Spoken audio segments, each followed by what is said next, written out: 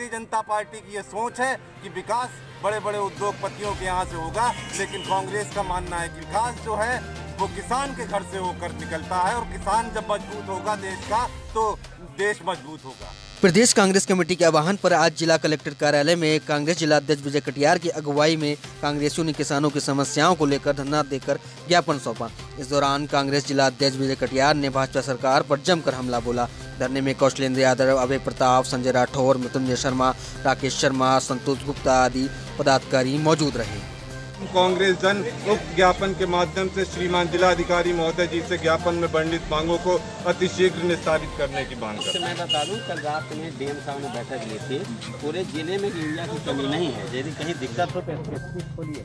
Urea की जिला कृषि अधिकारी ने पूरी तरह कहा जब कहीं कोई दिक्कत नहीं जी हम हम आपकी बात को रखेंगे तो जहाँ कमी होगी वहाँ बताएँगे। सरकारी गोदाम पर नहीं है आप ये स्पेसिफिक बताइए ना। हम- हम देख लें दीजिए कमेटी के निर्देश अनुसार यहाँ धरना प्रदर्शन पे बैठे हैं और हमारी जो मांगे हैं वो किसानों को लेकर हैं। किसानों को इस समय बहुत बड़ी समस्या का सामना करना पड़ रहा है।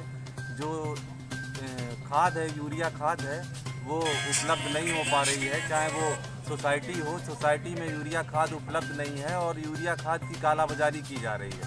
किसानों के पास यूरिया नहीं पहुँच रही है, जिसको लेकर फ़सलों में बहुत बड़ा नुकसान हो रहा है और हम इसी मांग को लेके आज यहाँ पर बैठे हुए हैं। कालाबाजारी बंद की जाए और उपलब्धता की जाए और किसानों की जो समस्याएँ हैं, उनको दूर किया जाए। और मैं, मेरा मानना है, मेरा मानना है कि इस देश की भी अगर, इस देश की विकास की रीढ़ की हड्डी किसान है। जब किसान मज़बूत होगा तो देश मज़बूत होगा, क्योंकि कांग्रेस पार्टी जानती है कि विकास का रास्ता किसान के घर से होकर जाता है, ना कि बड़े बड़े उद्योगपतियों के घर से। भारतीय जनता पार्टी की ये सोच है कि विकास बड़े बड़े उद्योगपतियों के यहाँ से होगा, लेकिन कांग्रेस का मानना है कि विकास विकास जो है वो किसान के घर से होकर निकलता है और किसान जब मज़बूत होगा देश का तो देश मज़बूत